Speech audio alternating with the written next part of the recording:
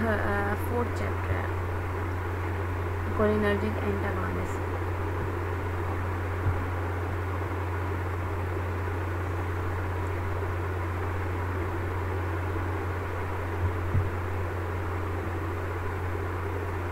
cholinergic antagonists what are cholinergic antagonists drugs that block or inhibit the action of acetylcholine. जैसे हमने पहले पढ़ चुके हैं कि कोलिनर्जिक एगोनिस्ट कौन से होते हैं, जो कि बेसिकली आपके पास एसिटाइल कोलिन के एक्शन को रिस्पॉन्ड करते हैं। आपके पास कोलिनर्जिक एगोनिस्ट कौन से होते हैं, जो कि आपके पास एसिटाइल कोलिन के एक्शन को मिमिक करते हैं। एसिटाइल कोलिन के एक्शन को मिमिक करते हैं। मीन को एसिटाइल कोलिन जैसा इफ़ेक्ट प्रोड्यूस करते हैं मस्कुलिन रिसेप्टर की साइड्स के ऊपर। या आपके पास जो है कोलिनर्जिक एक्टिविटी की तरह के इफ़ेक्ट प्रोड्यूस करते हैं वो होते हैं कोलिनर्जिक एगोनिस कोलिनर्जिक एंटागोनिस कौन से हैं? जो कि न्यूरो ट्रांसमीटर एसिटाइल कोलिन के इफ़ेक्ट को ब्लॉक करेंगे या इनहिबिट करेंगे.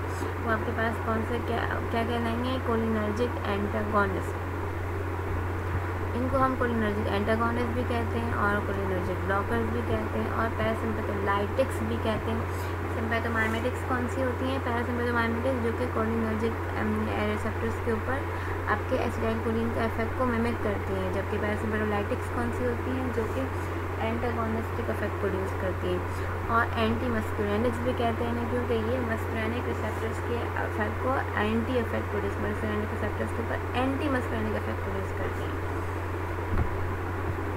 और ड्रग इनको ये भी कह सकते हैं कि और drug that block the receptor that is muscarinic और निकोटेनिक कोलिनर्जिक रिसेप्टर्स कौन से होते हैं? दो टाइप के रिसेप्टर हैं muscarinic and nicotinic muscarinic receptors में आपके पास कौन सी आ गई टाइप आपके पास basically muscarinic receptors anti muscarinic जो होंगी वो बेसिकली पैरासिम्पैथोलाइटिक्स कहलाएँगी और वो आपके पास टू टाइप्स के नेचुरल अल्करिंग अल्करिंग अल्कोलॉइड्स हैं और दूसरे सिंथेटिक सिंथेटिक आपके पास एट्रोपिन सब्सिट्यूट्स हैं। एंटी निकोटेनिक्स में क्या है? निकोटेनिक रिसेप्टर्स में पहले में डिस्कस कर चुके हैं हम कि निकोटेनिक रिसेप्टर्स आपके पास कहाँ डिस्ट्रीब्यूटेड होते हैं? आपके पास निकोटेनिक रिसेप्टर्स जो हैं गैंग्लियाज में मौजूद हैं या आपके ब्रेन में मौजूद हैं या फिर आपके पास जो है जो है न्यूरोमस्कुलर जंक्शन में मौजूद हैं। जो न्यूरो आपके पास जो है गैंग्लियानिक अगर गैंग्लिया में मौजूद निकोटेनिक रिसेप्टर्स इनहिबिट हो रहे हैं तो गैंग्लियानिक ब्लॉकर्स कहलाएँगे। अगर आपके पास मसल्स में मौजूद निकोटेनिक रिसेप्टर्स इनहिबिट हो रहे हैं मसल्स पे मौजूद निकोटेनिक रिसेप्टर्स अगर इनहिबिट होंगे तो वो न्यूरोमस्कुलर ब्लॉकर्स कहलाएँगे। ओके तो हमारे पास नेक्स्ट स्लाइड क्या है? ये शो कर रही है कि हमारे पास ऑटोनॉमिक जैसे हमने ऑटोनॉमिक नर्वस सिस्टम में पहले पढ़ा कि हमारे पास थ्री टाइप्स की बेसिक इनोवेशन मौजूद है। एक तो आपके पास वो है जो डिफ्यूज़ इनोवेशन होती है सिंपथेटिक इनोवेशन है, लेकिन डिफ्यूज़ टाइप की कैटेगरी में आती है। क्योंकि जो आपके पास प्री सिंपथेटिक न्यूरॉन है गैंग्लियनिक न्यूरॉन है, वो आता है और एसिटाइल कोलिन डिलीवर करता है और रिलीज़ करता है कहाँ एडिनल मेड्यूला पे एडिनल मेड्यूला क्या करता है कि बेसिकली एपिनेफ्रिन और नॉर एपिनेफ्रिन को रिलीज़ कर देता है ब्लड में और फिर आपके पास जितने भी एडिनोडिक रिसेप्टर्स मौजूद हैं इनके ऊपर जाके एपिनेफ्रिन और एपिनेफ्रिन में इफ़ेक्ट प्रोड्यूस करता है डिफ्यूज टाइप सिंपथेटिक की। ऑटोनॉमिक नर्वस सिस्टम में जो सिंपथेटिक नर्वस सिस्टम दूसरा है आपके पास, जो दूसरी टाइप से इफ़ेक्ट प्रोड्यूस करता है, जो कि डिस्क्रीट टाइप का इफ़ेक्ट प्रोड्यूस करता है, वो बेसिकली क्या है? Pre ganglionic neuron acetyl choline release करेंगे, आपके जो गैंग्लॉनिक गैंग्लॉनिक बॉडीज़ के अंदर निकोटिनिक रिसेप्टर्स को रिस्पॉन्ड करेंगे, और पोस्ट गैंग्लियनिक न्यूरॉन जो वो नॉरेपिनेफ्रिन रिलीज़ करेंगे एनर्जी रिसेप्टर्स के ऊपर इफ़ेक्ट प्रोड्यूस करेंगे। इसी तरह से अब क्या हमने देखा कि निकोटिनिक रिसेप्टर्स कहाँ कहाँ मौजूद हैं? आपके पास जो है गैंग्लियनिक गैंग्लियनिक साइड से मौजूद हैं। तो यहाँ पे हमें गैंग्लियनिक ब्लॉकर्स कहते हैं। अगर निकोटिनिक रिसेप्टर यहाँ के ब्लॉक होंगे तो वो गैंग्लियनिक ब्लॉकर्स कहलाएँगे। यहाँ पे पैरासिम्पैथ पैरासिम्पैथिक सिस्टम के अंदर आपके पास टेलकोलिन रिलीज़ होगा निकोटिनिक रिसेप्टर जो कि गैंग्लिया में मौजूद है, उनके ऊपर जाके बाइंड होगा। Then post post ganglionic neuron से एसिटाइल कोलिन रिलीज़ होगा जो कि मस्कर्निक रिसेप्टर से जाके बाइंड करेगा। दूसरा आपके पास एसिटाइलकोलिन कहाँ रिलीज़ होता है? सोमेटिक सिस्टम के अंदर, जहाँ पे आपके पास प्री एंड पोस्ट की कोई डिस्ट्रीब्यूशन नहीं है। कि आपके पास एक न्यूरॉन इनर जो है वो अराइज होगा और आपके जाके इनर्वेट करेगा मसल सेल को स्टार्टेड मसल्स को, जहाँ पे मौजूद क्या है निकोलिनिक रिसेप्टर्स हैं और वो किसको रिस्पॉन्ड करते हैं? एसिटाइलकोलिन को रिस्पॉन्ड करते हैं। तो ये न्यूरोमस्कुलर ब्लॉकर्स कहलाएँगे क्या कहलाएँगे neuromuscular blockers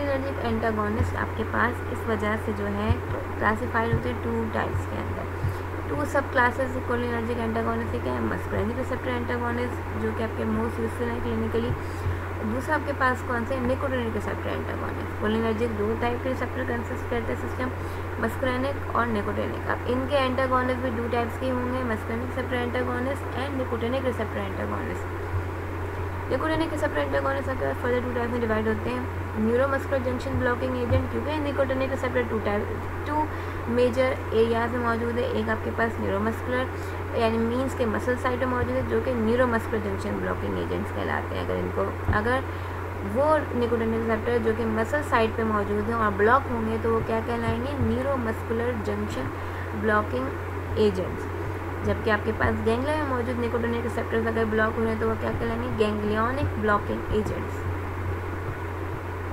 neuromuscular junction blocking agent आपके पास क्या करता है? Inhibit the efferent impulses to the skeletal muscle by the neuromuscular receptors जो कि बेसिक निकोटेनिक मस्कुलर रिसेप्टर्स जो बेसिकली आपके पास क्या है? ईफ्रंट इम्पल्सेस कहाँ से आ रहे हैं? ब्रेन से मॉडिफाई होकर इम्पल्सेस आ रहे हैं स्केटल मसल तक पहुँचेंगे। उनको जो है वो आपके पास जो है वो मॉडिफाई होंगे फर्दर इन रिसेप्टर्स के थ्रू जब ये ब्लॉक होगा तो आपके पास वो इम्पल्सेस जो है वो क्या होंगे, वो वहीं पर स्टॉप हो जाएँगे।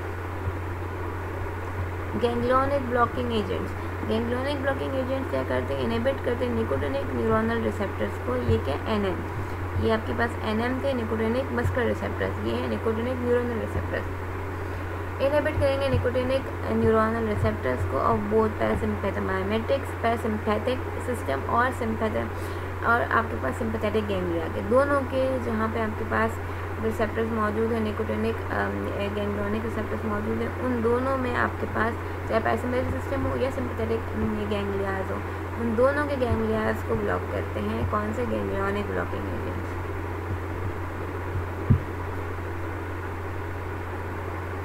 अब यहाँ पे आप देख रहे हैं cholinergic antagonist two main type में डिवाइडेड हो गए। आपके पास एंटी एंटीमस्क्रेनिक एजेंट और फिर आपके पास जो है वो nicotinic receptor blocking agent two major type में डिवाइड हुए गैंग्लोनिक ब्लॉकर्स और न्यूरोमस्कुलर ब्लॉकर्स न्यूरोमस्कुलर और गैंग्लियोनिक ब्लॉकर्स का जो आपका टारगेटेड रिसेप्टर है वो कौन सा है? निकोटिन निकोटिनिक रिसेप्टर है।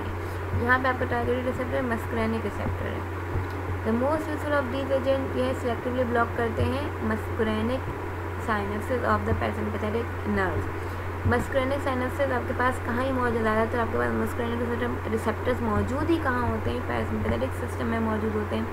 तो आपके पास जो है ब्लॉक करेंगे muscarinic synapses of the parasympathetic nerves जिसमें आपके पास आते हैं एट्रोपिन साइक्लोपेंटोलेट आपके इपरट्रोपियम स्कोपोलामीन और एट्रोपिकमाइड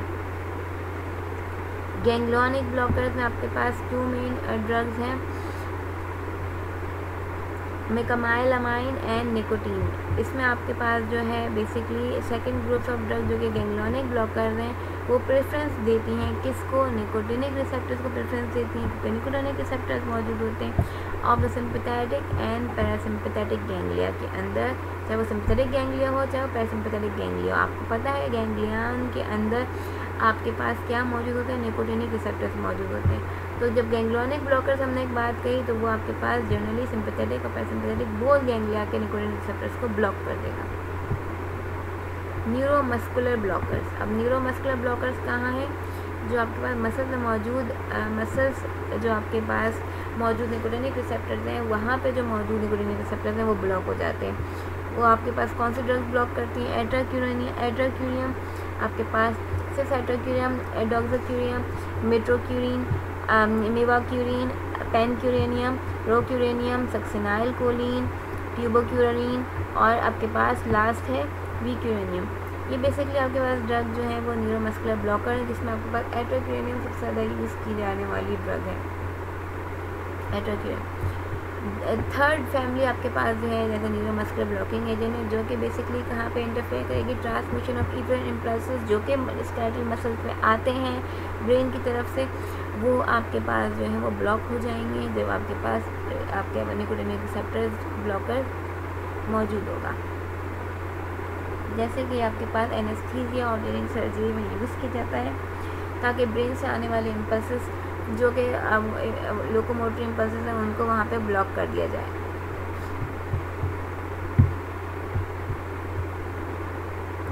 एंटी मस्क्रेनिक एजेंट्स आपके पास मेन आपके पास जो प्रोटोटिपिकल एजेंट क्या है प्रोटोटिपिकल एजेंट वो होता है जो पूरी क्लास को रिप्रेजेंट करता है। प्रोटोटाइप ड्रग हमेशा वो होती है जो पूरी क्लास को रिप्रेजेंट करती है। एट्रोपिन आपके पास क्या है प्रोटोटाइप ड्रग है, इस क्लास की एंटी मस्कुरैनिक एजेंट की प्रोटोटिपिकल एजेंट है। बेसिकली के पास क्या है टर्शरी अमाइन है, जो कि सीएनएस में एंटर होने की एबिलिटी रखता है और आपके पास बेसिकली एक्ट करता है। Muscarinic receptor M means muscarinic receptor antagonist के तौर पर अदर मस्कैनिक ब्लॉकर्स आपके पास बेसिकली डिफर करते हैं, दूसरे की फार्मोकाइनेटिक प्रॉपर्टी वेरी करती हैं, दूसरे आपके पास कुछ क्लिनिकल इन्फ्लुएंसेस वेरी करते हैं तो वहाँ पे आपके पास दूसरे दूसरे आपके पास एजेंट्स इन्वेंट होते जाते हैं, हम उसकी काइनेटिक्स इम्प्रूव करने के लिए डिफरेंट डिफरेंट एजेंट्स को जो है वो इन्वेंट करते हैं इंट्रोड्यूस करवाते हैं मार्केट में।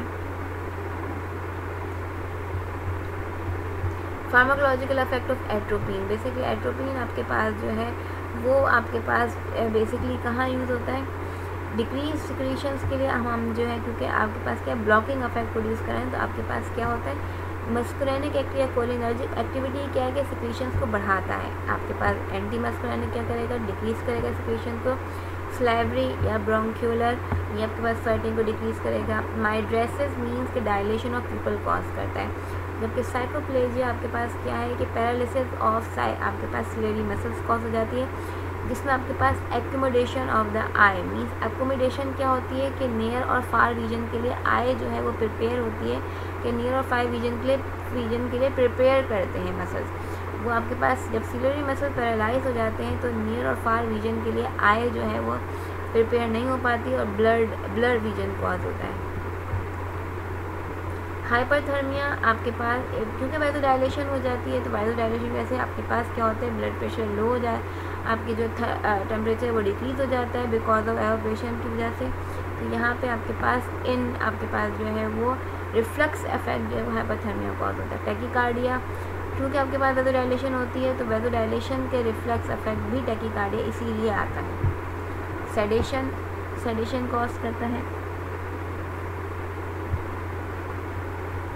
दूसरा आपके पास जो है यूनिरी रिटेंशन कॉज करता है, क्योंकि आपके पास क्या है? कोलिनरी सिस्टम कोलिनर्जिक सिस्टम खुद है रेस्ट जैसी कंडीशन है, जो कि यूरिनरी आपके पास जो है यूरिनरी फ्लो को बढ़ाता है, यानी कि आपके पास यूरिनरी रिटेंशन कॉज नहीं करता तो आपके पास यहाँ पे इसका एंटागोनिस्टिक इफ़ेक्ट क्या कि यूरिनरी रिटेंशन कॉज करेगा और कॉन्स्टिपेशन कॉज करता है क्योंकि पेरिस्टालसिस को डिक्रीज करता है। बिहेवियरल एक्साइटेशन कॉज करते हैं एंड हेलोसिनेशन कॉज करता है क्योंकि सी एन एस में एंटर होता है। थेरापेटिक यूजेस क्या है? एट्रोपिन यूज़ किया जाता है, आपके पास बेसिकली ब्रेडिकार्डिया में यूज़ किया जाता है। ओके ताकि बीट को इंक्रीज कर सके। माइड्रेटिक और साइक्लोप्लेजिक एजेंट है। सको आई टेस्टिंग के दौरान जो है वो मैं आपके पास आके मूवमेंट को स्टॉप किया जा सके। तो माइग्रेटिव साइकोलॉजिक एजेंट के तौर पे यूज़ किया जाता है ऑप्थेलमोलॉजी के अंदर। जीआईटी और ब्लड स्पाजम के लिए यूज़ किया जाता है ताकि मूवमेंट पैरालिसिस को स्टॉप किया जा सके। या एक्स्ट्रा आपके पास जो मूवमेंट्स हो रही हैं वॉमिटिंग या डायरी कंडीशन में उसको स्टॉप किया जा सके पैरालिसिस को जीआईटी में यूज़ किया जाता है और ब्लडर में, आपके स्पाजम में, जो आपके पास यूजली रिटेंशन नहीं हो रहा होता प्रॉपरली इनकन्सिस्टेंसी हो रही होती है तो वहाँ पे ब्लड स्पाजम में यूज़ किया जाता है।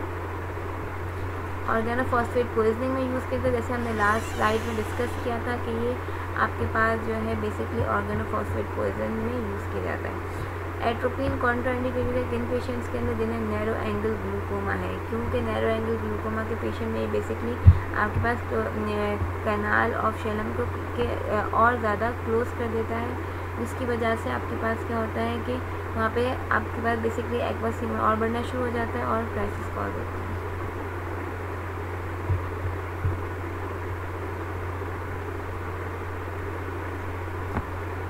यूजेस आपके पास बेसिकली क्या है? क्लिनिकल यूजेस और एंड बेसिकली कैप्रिस और ब्लॉकर्स क्या है?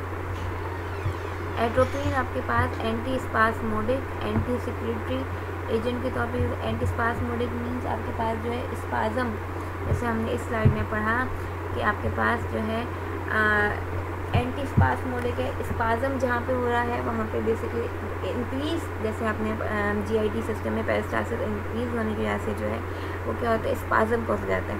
तो ये आपके पास एंटी स्पास्मोडिक है anti secretory anti secretory basically क्या है कि सिक्रीशंस को जैसे आपके पास secretion of S C L को डिक्रीज़ करता है आपके पास एंटी सिक्रेटरी के तौर पर यूज़ होता है सर्डिंग को डिक्रीज़ करता है। Management of acetylcholine inhibitors acetylcholine esterase inhibitors जैसे हमने पढ़ा कि um, आपके पास ऑर्गेनोफॉस्फेट पोइजन में यूज़ हो रहा है तो आपके पास कहाँ पे इसको हम कहेंगे? Management of acetylcholine esterase inhibitors anti diarrhoeal है पेरास्टासिस को डिक्रीज़ करता है इसलिए एंटी डायरियल है थर्मोलॉजी में आपके पास किया जाता है ताकि हम टेस्टिंग वगैरह कर सकें तो वो आपके पास लेकिन लॉन्ग एक्शन के तौर पे इसको हम यूज़ नहीं करते जस्ट वो टेस्टिंग के लिए यूज़ किया जाता है.